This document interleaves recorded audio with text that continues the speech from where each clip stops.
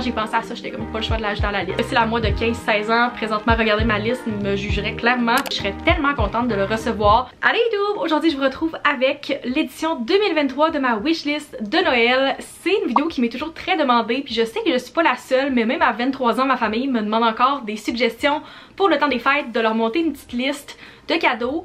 Puis je trouve qu'en vieillissant, c'est de plus en plus difficile à trouver des suggestions puis même des choses à offrir à mes proches parce que dans ma famille, on est pas mal tout le genre de personnes que si on a besoin de quelque chose, on va se l'acheter par nous-mêmes. Fait que ça devient de plus en plus difficile de trouver des idées. Puis moi j'aime ça regarder ce genre de vidéos là pour m'inspirer. Puis je sais que je suis pas la seule. Fait que j'espère que ça va vous donner quelques petites idées. C'est vraiment des choses que je demande ou des choses que j'aimerais vraiment avoir mais que je demanderai pas nécessairement.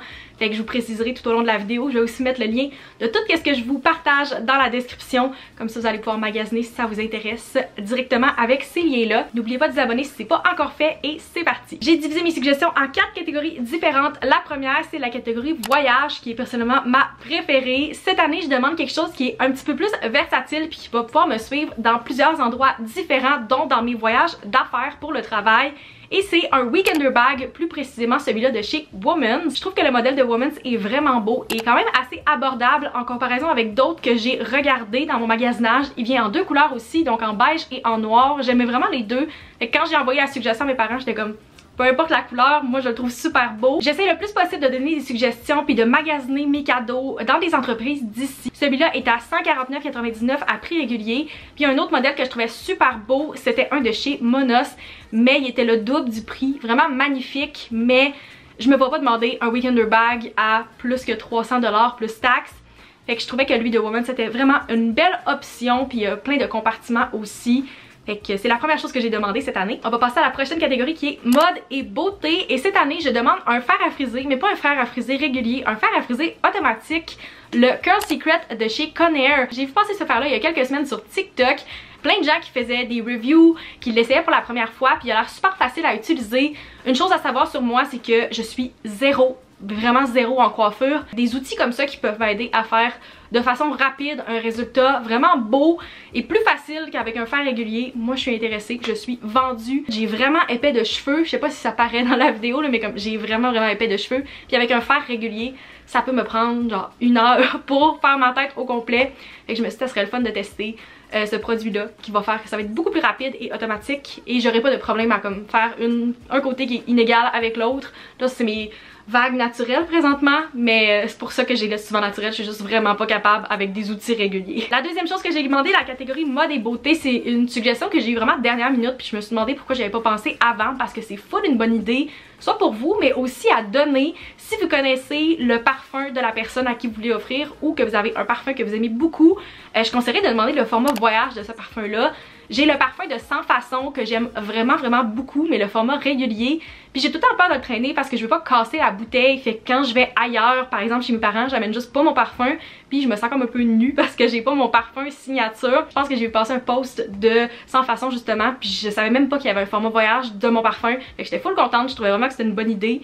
Puis ça coûte un peu moins cher aussi à offrir si jamais qu'un format régulier. Mais il faut aussi offrir comme des coffrets parce que des fois il y a des coffrets avec le format voyage puis le format régulier, une petite pochette aussi, il y a vraiment plusieurs options qui peuvent aller avec le parfum mais ça s'offre tellement bien à tout le monde que ce soit comme un homme, une femme dans votre vie, amis, euh, dans votre famille, chum, blonde, peu importe, ça peut vraiment être un beau cadeau je trouve, fait que quand j'ai pensé à ça, j'étais comme pas le choix de l'ajouter dans la liste. Maintenant, si on passe à la catégorie électronique, il y a deux choses que j'ai acheté à ma liste cette année. La première, je l'ai pas nécessairement demandé, mais c'est certain que c'est quelque chose que je considère depuis quelques mois déjà.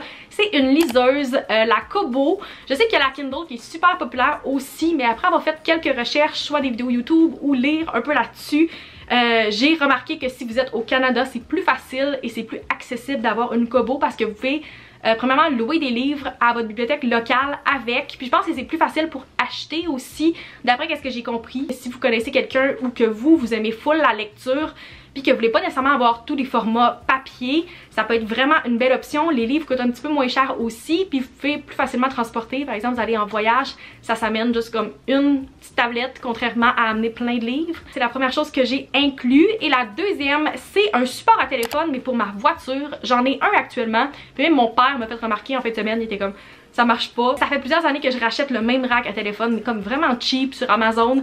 Puis c'en est un qui fait juste comme c'est une pince sur votre téléphone et le nombre de fois dans la dernière année où il m'a juste lâché et a éjecté mon téléphone pendant que j'étais en train de conduire sur la route et qui tombe à mes pieds comme quelle bonne façon de déclencher un accident.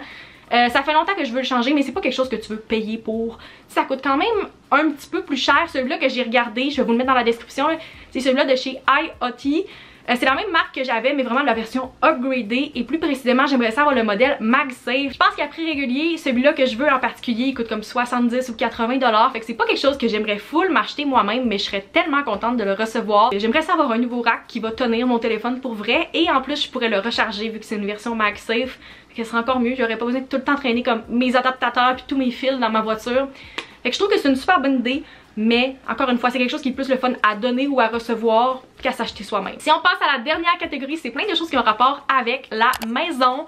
La première chose, c'est quelque chose que je demande depuis plusieurs années. Je pense pas recevoir cette chose-là encore cette année parce que c'est très dispendieux, mais je l'ajoute toujours tout d'un coup que ma famille veut comme se mettre ensemble pour faire un gros cadeau. Puis sinon, c'est quelque chose que comme c'est sur ma wishlist que j'aimerais éventuellement m'acheter c'est un aspirateur Dyson ou un aspirateur sans fil. J'aimerais savoir vraiment un bon aspirateur de qualité qui va pas me lâcher, qui va avoir une bonne charge, qui va tout simplement pas avoir de fil parce que j'en ai un depuis que je suis partie en appart. Et ça fait deux fois cette année qu'il brise. Ça, c'est quelque chose que si la moi de 15-16 ans, présentement, regardez ma liste, me jugerait clairement pour cette demande-là. Mais à toutes les fois que je me sers de mon aspirateur, je suis comme, ah, j'aimerais vraiment ça avoir comme un bon de qualité que je peux me servir, qui va comme vraiment bien ramasser puis qui va aspirer. Tu sais, c'est quelque chose vraiment d'adulte que comme tu comprends pas si t'as pas un appart ou une maison éventuellement j'aimerais ça. Tu sais, si quelqu'un me fait un cadeau genre ma pendaison de crémaillère quand j'achète ma maison, euh, je veux ça. Je le mets dans ma liste. Est-ce que je pense l'avoir? Non, mais c'est quand même quelque chose que je demande. Si vous avez quelqu'un qui a comme un gros budget qui vous demande qu'est-ce que vous voulez, moi je rajouterais ça là-dedans. Ensuite, quelque chose que j'ai pas demandé officiellement, tout simplement parce que je manque de place, mais que j'aimerais full avoir, peut-être plus l'année prochaine, ça serait un lecteur pour vinyle. Je sais pas pourquoi ma génération, on commence à comme réaimer des choses qui étaient comme vraiment des générations passées, genre les vinyles. Ça revient full à la mode, mais moi aussi j'embarque là-dedans puis je suis vraiment jalouse de tout le monde qui en a un présentement. Il y a tellement d'artistes que j'aime full que j'aimerais avoir leur vinyle, tu sais je pense à Charlotte Cardin, à Taylor Swift, du Alipa, ça prend beaucoup de place, fait que je pense que ça serait plus comme l'année prochaine ou dans deux ans quand je vais avoir un petit peu plus d'espace. C'est un petit peu plus dispendieux si vous en vraiment de qualité mais je pense que c'est une super bonne puis si la personne à qui vous voulez offrir ou vous-même vous avez un lecteur ben après vous pouvez racheter des vinyles pour la personne ou en demander euh, des nouveaux qui sont sortis c'est comme vraiment un bel accessoire qui va avec fait que je trouve vraiment que c'est une bonne idée. Peut-être pas cette année, mais c'est clair que ça reste sur ma wishlist. Les deux dernières choses que je vais vous partager, ça va peut-être sembler plate, mais je voulais quand même les inclure parce que je sais que ça va sûrement inspirer des gens avec comme d'autres idées ou peut-être que vous avez besoin de ces mêmes choses-là. C'est des choses que j'ai vraiment demandé pour moi-même, fait que je vous inviterai à ne pas rire. La première, ce sont des mitaines. Les miennes sont super maganées. J'en ai comme une paire que je porte quand je sors dehors l'hiver, le peu de fois que je sors des belles mitaines en cuir, mais ils commencent à être vraiment maganés. C'était ma mère qui les avait avant moi, ils ont plusieurs années. Puis ils sont corrects quand il fait pas trop froid, mais j'irai pas nécessairement à comme plus froid que moins 15 avec ces mitaines là par exemple quand je vais faire de la raquette ou du ski de fond j'aimerais ça avoir des bonnes mitaines de qualité fait que euh, c'est quelque chose que j'ai demandé ma mère en a j'étais comme hey ceux-là m'intéressent si jamais fait que c'est quelque chose que j'ai acheté à ma liste et la dernière chose peut sembler vraiment boring, un item de cuisine. Pour vrai, il n'y a pas grand chose qui me manque dans la cuisine. J'ai tellement eu un gros trousseau, puis j'ai reçu plein de choses à travers les années, comme toutes les choses de ma cuisine, ou presque, je les ai reçues à Noël. Fait que je suis très très très reconnaissante d'avoir eu tous ces items là, mais il y a une chose que j'ai remarqué que je n'avais pas dans les dernières semaines puis qui me serait très utile, c'est une essoreuse à salade. Je pensais que j'en avais une, je sais pas pourquoi dans ma tête j'avais quelque chose comme rangé en haut de mon armoire, puis dernièrement j'ai vraiment un trip de salade, je me fais des salades comme 3-4 fois par semaine pour dîner, puis je me suis rendu compte que j'avais pas d'essoreuse à salade, fait que je dois comme essuyer ma salade avec des petits essuie-tout. Puis je trouve que c'est comme le temps d'avoir une upgrade, une vraie essoreuse à salade. J'en veux pas nécessairement une comme de grosse qualité, mais ça serait bien utile pour moi. Euh, une pas trop grande qui va rentrer dans mes armoires de mon mini rangement de mon 2,5. fait que c'est quelque chose que j'ai demandé cette année. Peut-être qu'il vous manque un item de cuisine qui pourrait être intéressant. Si vous avez pas de comme poêle à raclette ou à fondu ou des couteaux. Tu sais, le genre d'affaires qui est vraiment plate à s'acheter, mais super le fun à recevoir.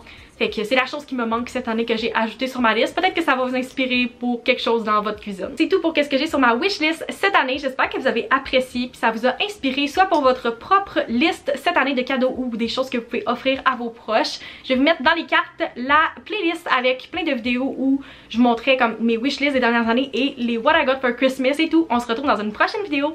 Bye!